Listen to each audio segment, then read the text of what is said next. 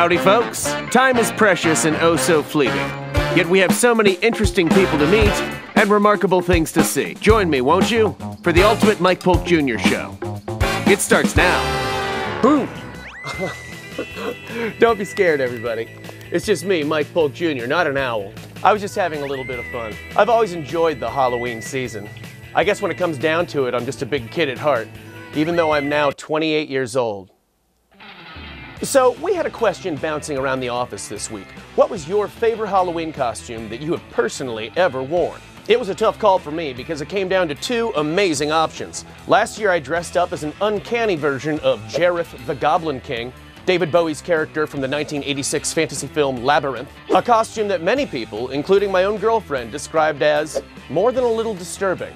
But in the end, I decided that my personal favorite costume ever was the year that I went as Bernie Lomax, the deceased titular character of the 1989 comedy film Weekend at Bernie's. This costume had so many elements that appealed to me casual comfort, 80s pop culture appeal, thrift store affordability, and perhaps most importantly, an excellent built in excuse to not talk to anyone anytime I didn't feel like it for the entire evening under the very plausible guise of staying in character. It was truly the perfect costume, and I think I'm gonna bring him back this year. But that's just my example. We want to see your favorite Halloween costume that you ever wore. Just go to our What's New Facebook page and comment underneath this story to submit. Our crack team of costume experts, which realistically will probably be me and a 19 year old intern from John Carroll University, will evaluate all submissions. We will then select our 10 favorites and share them with you on Halloween. Again, just go to the What's New Facebook page to show us the magic. And if you're already on the What's New Facebook page and watching this segment here, well, then look at you. You're one step ahead of everyone. Congratulations. Now show us the goods. Let's see some costumes, folks, and happy Halloween. So let me ask you, what scares you the most? For some, it's things that go bump in the night. For others, it's a deep, impenetrable darkness. For me, of course, it's being socially obliged to attend a suburban barbecue and having to listen to basic dudes talk about golf and landscaping techniques. But for others, it's entomophobia, aka the fear of bugs. Well, if that's your fear, you perchance may wish to avert your eyes, as I am about to present to you one of the scariest reports I ever presented the attack of the cicadas. Do you hear that? That's the sound of terror.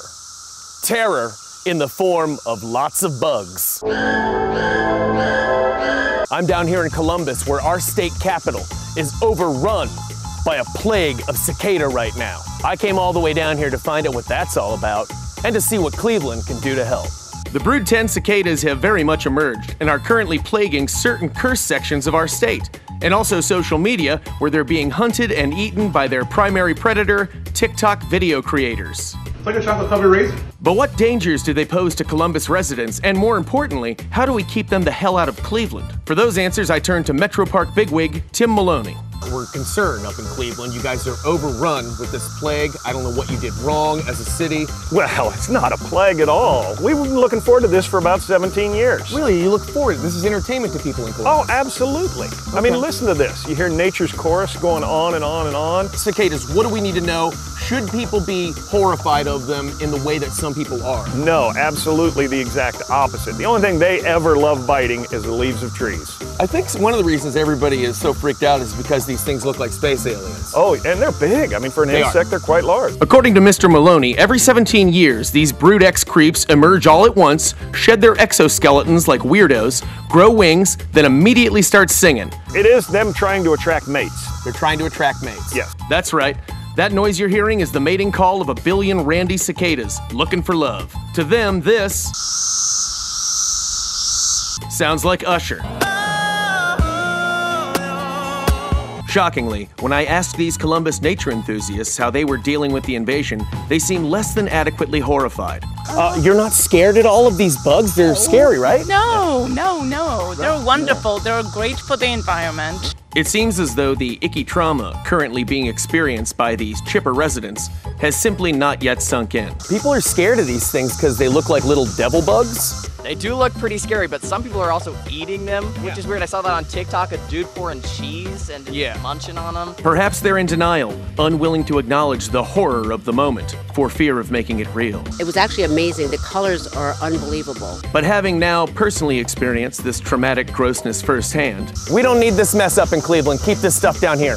All right, cicadas? I can assure you that the cicada mess in Columbus is very real and quite nasty. And I didn't even have to eat one to realize that. This is Mike Polk, getting skeezed out for 3 News. Ooh, scary, right? hey, speaking of scary, does everyone remember that worldwide pandemic from a few years back that I think we're still technically in probably right now, but don't take my word for it because I'm not a doctor? Now, those were some scary times, am I right? We sure had to make some strange adjustments to our everyday lives, including to our beloved Halloween traditions. Take a look at the instructional video I made during the heart of the plague, suggesting safe ways to engage in trick or treating.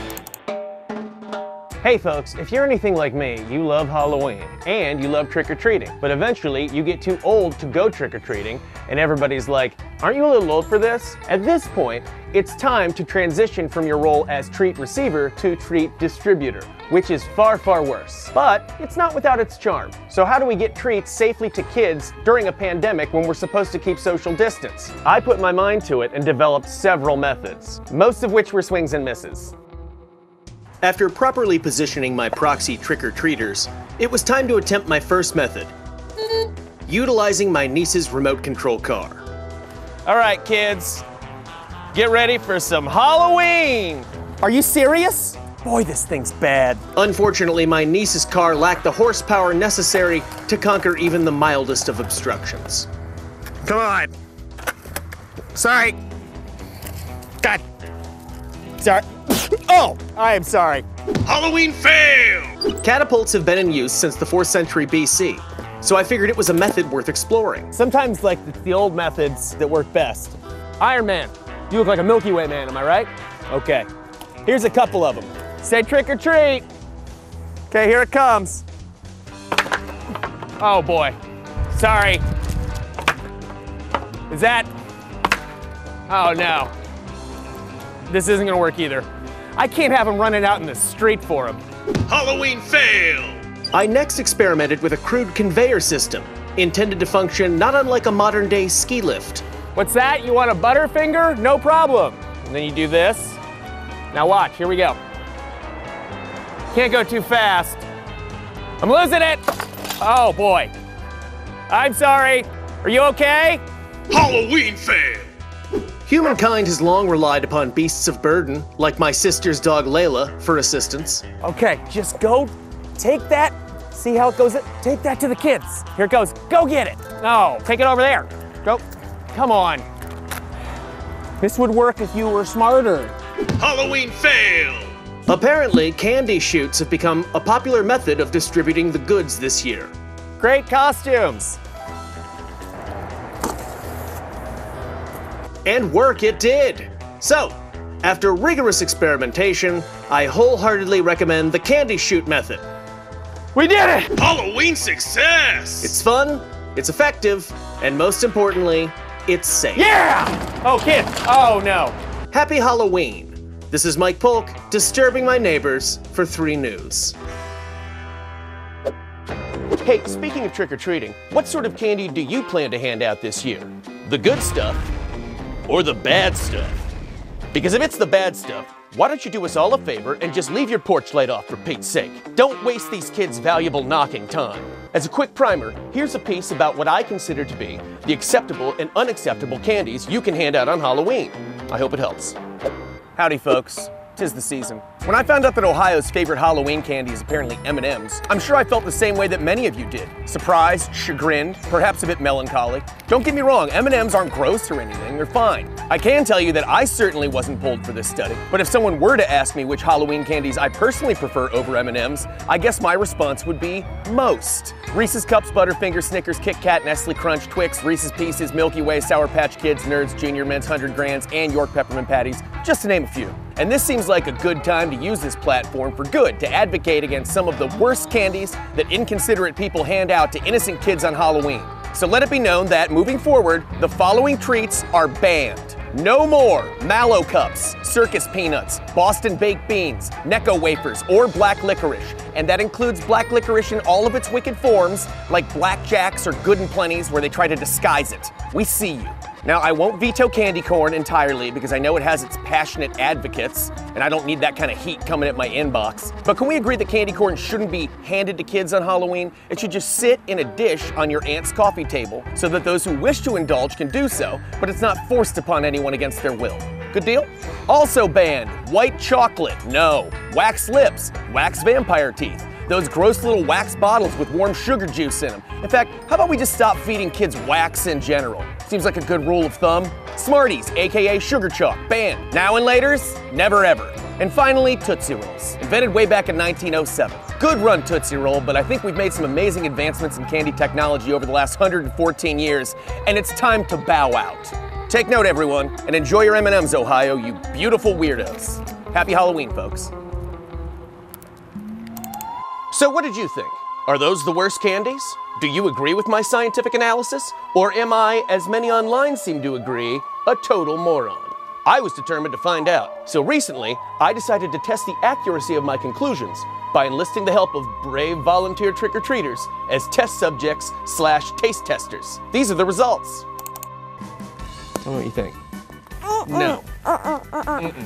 Well, I've got a treat for you because I'll bet you like Boston baked beans. No. I hate beans. Oh, Kind of tastes like Snickers. it does. This tastes like Snickers to you. At times, it was difficult not to feel some level of sympathy for these brave volunteers. Kind of describe to me what you think of the Bit-O-Honey. How do I spell that? And there were moments where I clearly pushed them past their personal thresholds. It's good and plenty time. Do you want to spit it out? I out? like it. Explain why you don't like it. Uh, too chewy. Too chewy. That's generous. Have one or two or handful or whatever you want. It's like a really bad jelly bean. Boy, that's perfect.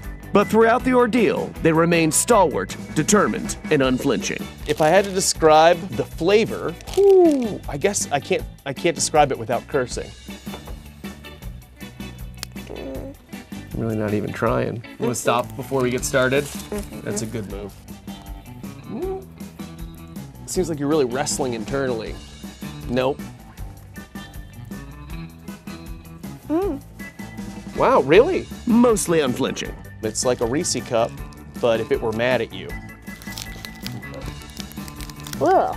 In a good way or in a bad way? The chocolate tastes really stale. Yes, it's made that way. It is actually brand new, but it somehow tastes stale. How are we feeling about that? Nope. It's a no in the mallow cup. I was worried about this. Are you okay? Yeah. Should we call someone? Is she okay? Yeah, I'm Can fine. something- okay. Nothing can happen to her if she had a mallow cup, right? You're good? Yeah. All right, there was significant flinching. Can I have a napkin? Yes, yes, absolutely.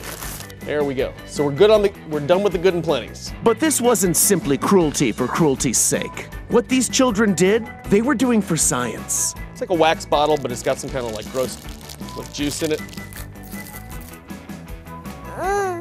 You don't want to drink what's inside that wax stuff? No. I mean, might be really good.